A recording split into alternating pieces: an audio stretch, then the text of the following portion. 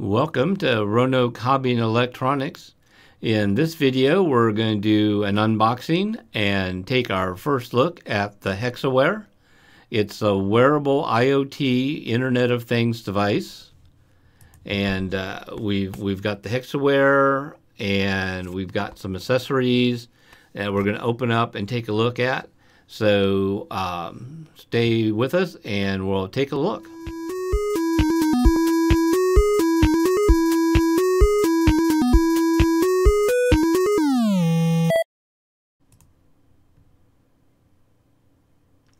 Okay, and so the Internet of Things, the IoT devices are just, there's just so many new things coming out there.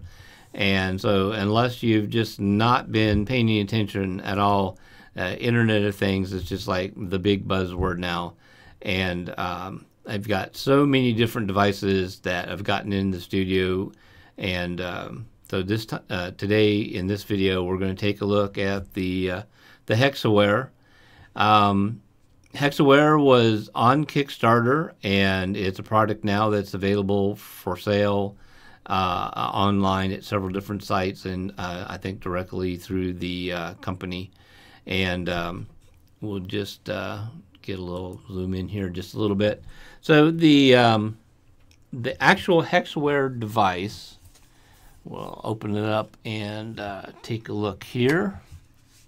And uh, the one thing I've, I've, noticed is that this particular company does uh, a good job uh, with like nice um, packaging. They put a lot of thought into um, like protecting the product.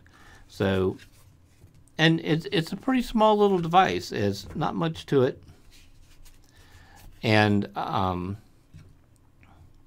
the main the main thing about the uh, Hexiwear is it's uh, Bluetooth enabled and uh, it's got a whole um, array of sensors that are included in the device and it's designed to be wearable so it's small and lightweight. Um, it uh, has a, a small battery inside. You charge it with a mini USB and it, it's designed from the beginning to be uh, to be hackable and, and durable because you know people like me drop things, um, and um, just like very carefully. None, none of the parts of the case are glued together, so it's designed uh, to uh, to be able to kind of take it apart and um, work with it and um, and kind of hack it.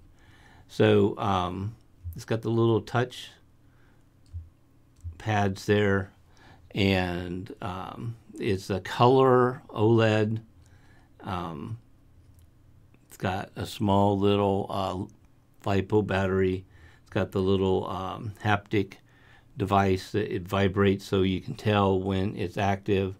And it's also got the little monitor there, if you can see it, um, optical there that's how it does the um, heart rate measurements.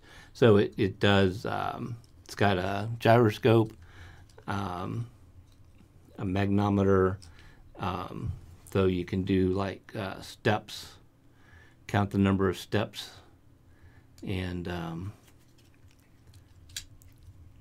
if I do it well and get it put back together there again so th that's the device itself. Um, it's got a little speaker so you can hear, and like I said, it's got a uh, tactile. It's got like a little vibration there.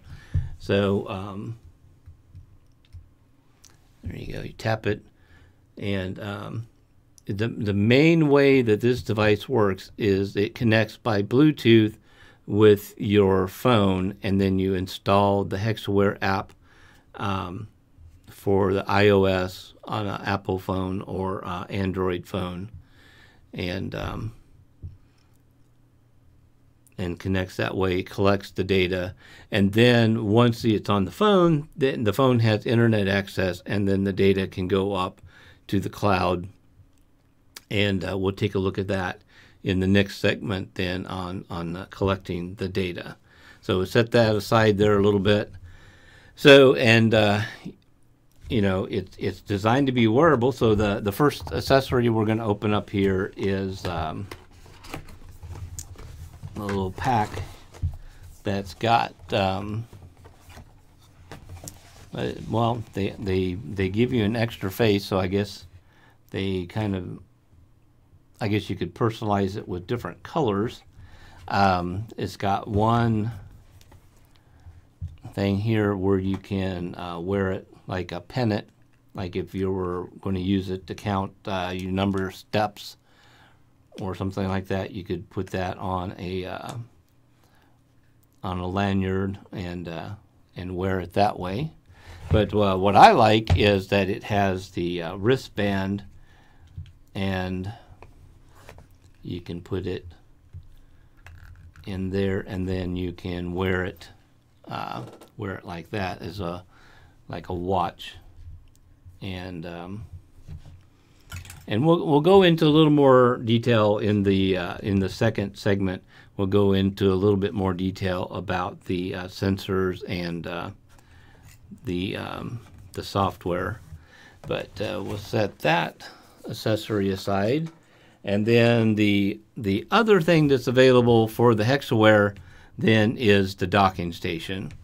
And they have got an entire family of uh, plug-in devices and sensors that can work with the Hexiwear. And and as, like I was saying earlier, they do a really good job with the packaging. So then you have the uh, the docking station, and you got the spot here that the uh, the Hexiwear. Oh, I didn't. Had to reach over there. Sorry about that. So it's got the uh, the slot there, and the way they explained it is you, got to make sure that you keep your finger there on the since it's not glued on there permanently the uh, face can pop off but uh, you firmly press down until it snaps and then it's you've got it docked and then um, on off switch uh, micro USB to power it uh, several uh, switches here to configure uh, for to do the configuration and then these you've got three positions there that the um, the um, sensors can plug in. And like I said, they've got an entire family. I think I think I saw somewhere in the documentation like 400 some different devices and sensors. Um, a little slot there for an SD card. So um, that is the uh, the Hexiwear and the uh, the most common accessories. And um, That is the unboxing and first look. And then in the next segment, then we're going to go into a little bit more of uh, of uh, configuring it, uh, what kind of sensors that has on board, and um, getting it uh, linked with your with the Bluetooth with your phone. So that that will wrap up the first segment here. So uh, thanks for watching. I appreciate you stopping by. If uh, if you find any of the videos useful, uh, just give us a thumbs up and uh, subscribe to the channel. That way you get uh, notified when I got a new video out. And uh, be sure and stop by the blog at roanoke.hobby.info and um, look at some of the other videos we've done in the past. So um, just watch for the uh, for the next segment here with the Hexiwear, and uh, thanks for watching.